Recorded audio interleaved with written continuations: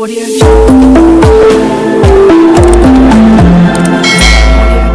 আসসালামু আলাইকুম সবাই, কেমন আছেন? আশা করি সবাই ভালো আছেন, আমি আলহামদুলিল্লাহ ভালো আছি। আজকে আমি নিয়ে চলে আসলাম আপনাদের সামনে crispy pan salmon plus lemon garlic sauce it's a restaurant quality meal made at home আমি এনজয় করি স্যালমন খেতে উইথ স্কিন অন কিন্তু আমার হাজব্যান্ড জ্যাক প্রেফার করে without skin for this recipe I am going to show you today কীভাবে prepare করবেন, রান্না করবেন স্যালমন বোথ ওয়েজ চলেন আমরা শুরু করি তাহলে। প্রথমে আমি একটা গর্জিয়াস ফিলে নিয়ে নিব। আমি এই ফিলেটা কাছকে থেকে কিনেছি। আপনারা যে কোনো গ্রোসারি স্টোরে হয়তো পেয়ে যাবেন এখানে। সো আমি এটাকে ফ্লিপ ওভার করে নিব প্যাকেট থেকে বের করে সাথে সাথেই। দেখতেই পাচ্ছেন যে স্যামনের কালারটা কি সুন্দর একটা লেমনের মধ্যে গোল্ডেন একটা যে ভাব এবং যে স্কিনের যে কালারটা, সিলভার, অনেক সুন্দর। তো আমি দেখে নিলাম, লেজ থেকে মাথা পর্যন্ত হচ্ছে আপনি যে আঁশগুলো আছে, যে ওয়েতে আছে, আপনাকে সেভাবে উঠাতে হবে আদারওয়াইজ তেমন কিন্তু খুব সহজেই আপনার কি বলে এটাকে, কেটে যেতে পারে আপনার নাইফ দিয়ে। আপনি চাইলে কিন্তু চামচ দিয়ে এটাকে ক্লিন করে নিতে পারেন। কিন্তু আমি একটা শার্প নাইফ নিয়ে নিয়েছি, যার জন্য আমি ওইভাবেই ক্লিন করছি। আপনারা দেখতেই পাচ্ছেন, এটা কিন্তু অলরেডি ক্লিন আমি এটাকে আরেকবার পানি দিয়ে ওয়াশ করে নিয়েছি।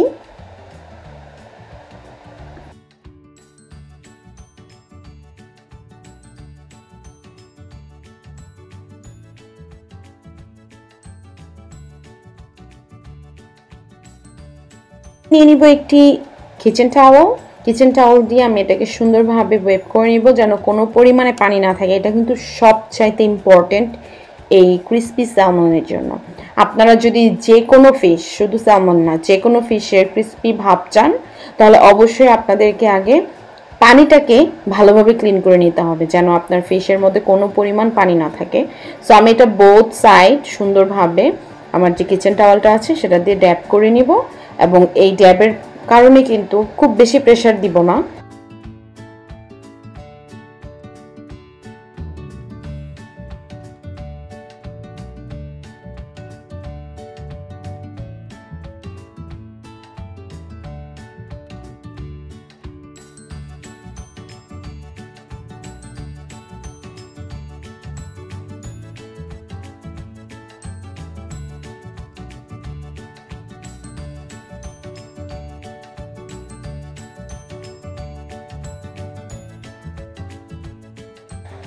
এই ন্যাপকিনটা যখন আপনি ড্যাব করবেন ফিশের মধ্যে, এটা কিন্তু অটোমেটিকলি পানিটা শুষে নেবে। সো আপনার ফিশে পানি থাকা চলবে না। এটা হচ্ছে একটা ইম্পর্টেন্ট কথা। এটা আপনাদের সবসময় মনে রাখতে হবে যখন আপনারা ক্রিসপি স্যালমন রেডি করতে যাবেন।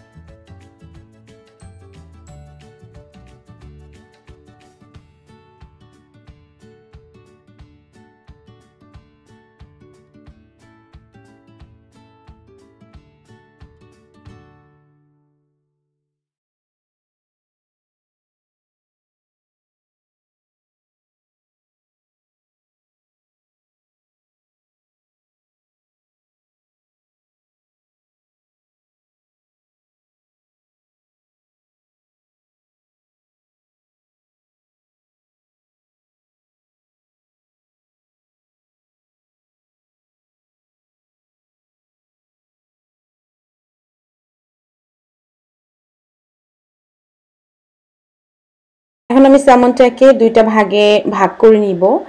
একটা সাইড আমি ইউজ করব উইদাউট স্কিন আরেকটা সাইড আমি ইউজ করব উইথ স্কিন সো যেহেতু আমার হাজব্যান্ড উইথ স্কিন লাইক করে না সো আমি আমারটা স্কিন সহ রেডি করব, সেটা আপনাদেরকে দেখাচ্ছি। এবং উইদাউট স্কিন আপনারা কীভাবে স্কিনটা উঠাবেন, সেটাও আমি আপনাদেরকে শো করব এখন। সো আপনারা দেখতেই পাচ্ছেন যে মাছের যে আঁশগুলো ছিল যে ওয়েতে সো আমরা লেজ থেকে উপরিভাগ পর্যন্ত স্কিনটা তোলা ট্রাই করব। আপনারা চাইলে একটু কেটে নিতে পারেন ওই ভাগটা, যেভাবে আমি এখানে দেখাচ্ছি আপনাদের। আপনাদেরকে আমি ট্রাই করছি মোটামুটি দেখানোর। আমিও কিন্তু অত বেশি পারদর্শী না স্কিন তোলার মধ্যে। সো আমি সবসময় স্যামন যখন কিনি, আমি উইদাউট স্কিনটাই কিনি, কিন্তু আপনাদেরকে দেখানোর জন্য আজকে আমি উইথ স্কিনটাও নিয়েছি, যাতে করে আপনারা বুঝতে পারেন কিংবা আমার চাইতেও আরও অনেক পারদর্শী লোক আছে যারা খুব সুন্দরভাবে স্কিন তুলতে পারে হয়তো বা কিন্তু আমি ট্রাই করছি এখনও আমি হয়তো বা ভবিষ্যতে আরও ভালো করতে পারব।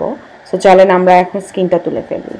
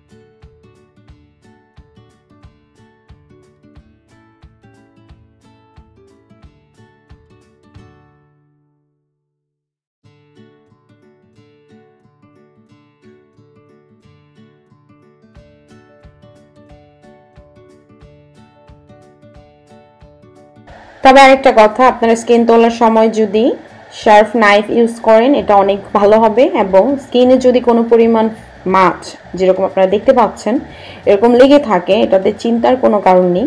আপনি যখন এটাকে ফ্রাই করতে যাবেন সল্ট দিয়ে, এটা অটোমেটিক্যালি খুব সুন্দর একটা লাইক শক্ত হয়ে যাবে, একদম খুলে খুলে যাবে না সো এটা নিয়ে টেনশনের কোনো কারণ নেই। আর যদি কেউ পারফেক্টলি করতে পারেন, তাহলে তো খুব ভালো।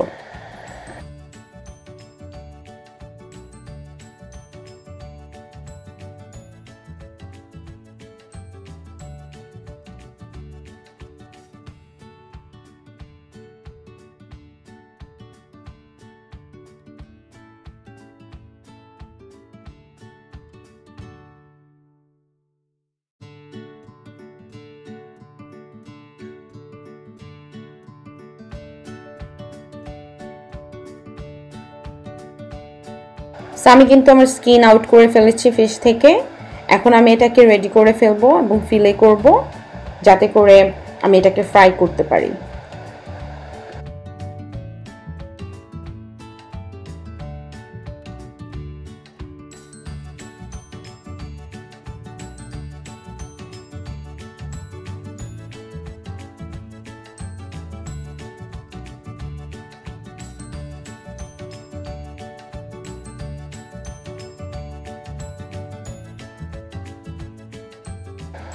সো আমি এখানে এখন যে স্কিন অন ফিশটা ছিল, আমি সেটা নিয়ে নিলাম। সেটাকে আমি এখন আনুমানিক তিন থেকে চার ইঞ্চ একটা করে ফিলে করব। আপনারা দেখতে পাচ্ছেন হয়তো বা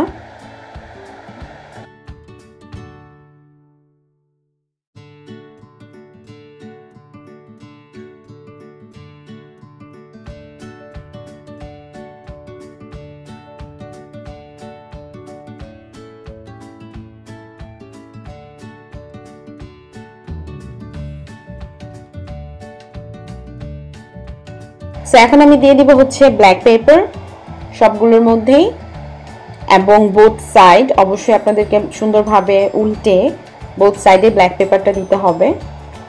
এখন আমি দিয়ে দিচ্ছি কোশাল সল্ট এটা কিন্তু নর্মাল কোনো সল্ট না, এটা আপনারা যে কোনো স্টোরে গেলেই পেয়ে যাবেন, এবং ডিসক্রিপশন বক্সে এটার নামটা আপনারা পেয়ে যাবেন সো চিন্তার কোনো কারণ নেই।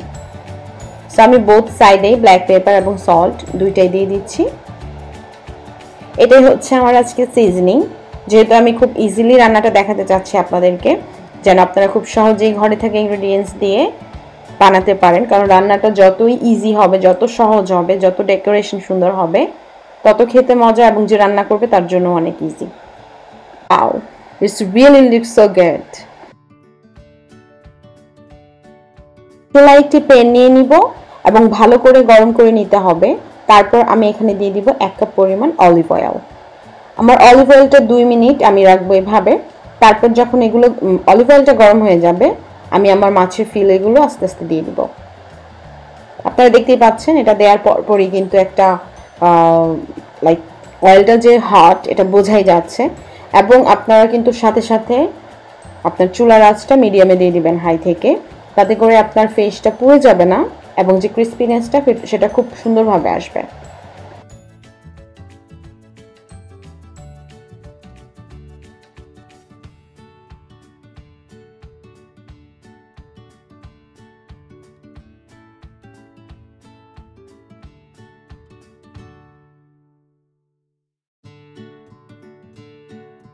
তো আমি এগুলো এখন উল্টে দিব।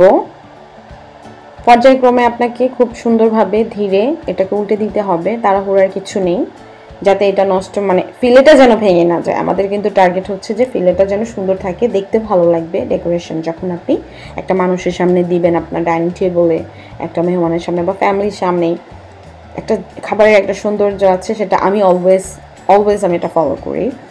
সো আমি এখানে দুইটা ফিশই ভেজে নিলাম উইদাউট স্কিন এবং উইথ স্কিন এখন আমি আরেকটা প্যানের মধ্যে এইট টেবিল স্পুন বাটার দিয়ে দিব এবং আমি আমার বাটারটা না গলা পর্যন্ত ওয়েট করব।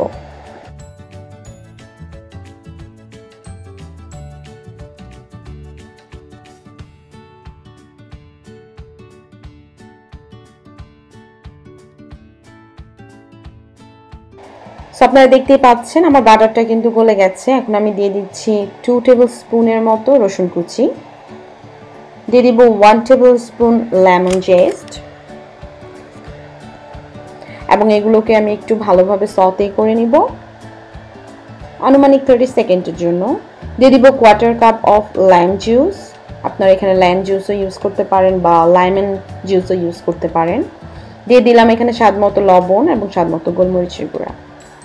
এখন এটাকে আমি চার থেকে পাঁচ মিনিট রান্না করব চুলায় এবং দিয়ে দিলাম কিছু dry parsley.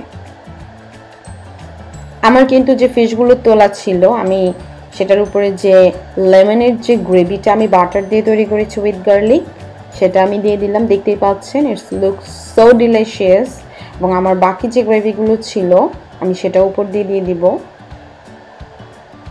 Look so yummy এই স্যামন হলে আর কিছুই লাগবে না কারও। দেখতেই পাচ্ছেন, গ্রেভিটা কিন্তু যে একটা লাইম যে একটা কালার বাটারের যে একটা কালার লাইক স্যামনের যে গোল্ডেন কালারটা সবগুলো কালার মিক্স করে কিন্তু অনেক সুন্দর হয়েছে। এবং আমি এখানে দিয়ে দিলাম কিছু ড্রাই পার্সলে যাতে একটু গ্রিন কালারও চলে আসে।